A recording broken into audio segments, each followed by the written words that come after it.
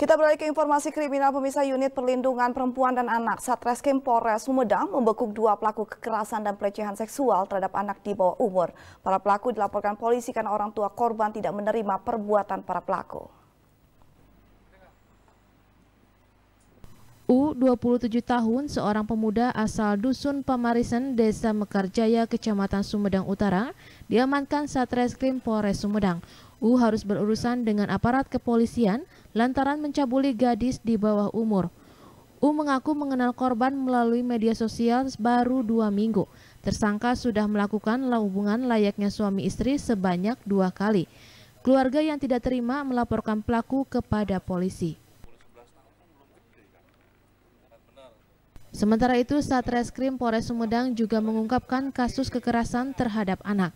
Kekerasan anak dilakukan oleh WY, warga desa Margajaya Tanjung Sari Sumedang, melakukan kekerasan pada anak di bawah umur hingga mengakibatkan korban luka-luka.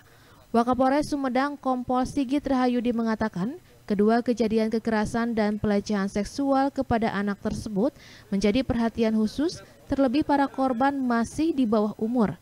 Menurut Sigit, pihaknya juga membantu pemulihan psikologis korban melalui Babin Kamtibmas di lingkungan TKP masing-masing.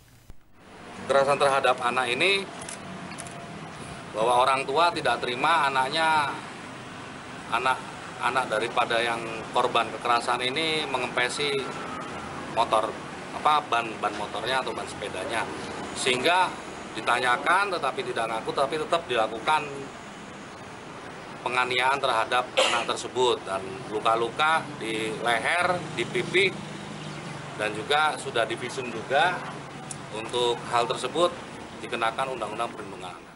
Para pelaku dijerat pasal perlindungan anak pasal 81 ayat 1 atau ayat 2 Undang-Undang RI nomor 17 tahun 2016 dengan ancaman hukuman 5 hingga 15 tahun penjara serta denda paling banyak 5 miliar rupiah. Diki Guntara, Bandung TV.